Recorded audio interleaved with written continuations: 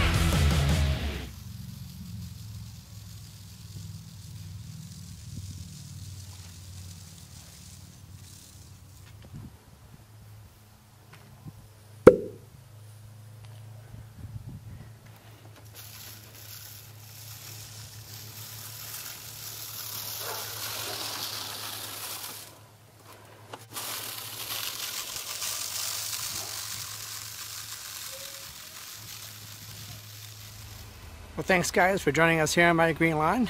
You seen it here. We did some dethatching. That was the very first time we used the dethatcher since we fixed it. And man, that thing really did good. We were on the highest setting. You've seen all the thatch we pulled up. Then we did some aeration. We did some fertilizing. And then at the back and also around the entire house, we did some reseeding. So thanks guys for joining us here on My Green Lawn. If you haven't already done so, go ahead and hit that like and subscribe buttons down below. And with that, I'll see you in the green. You guys have a great day. Take care. See you in the next one.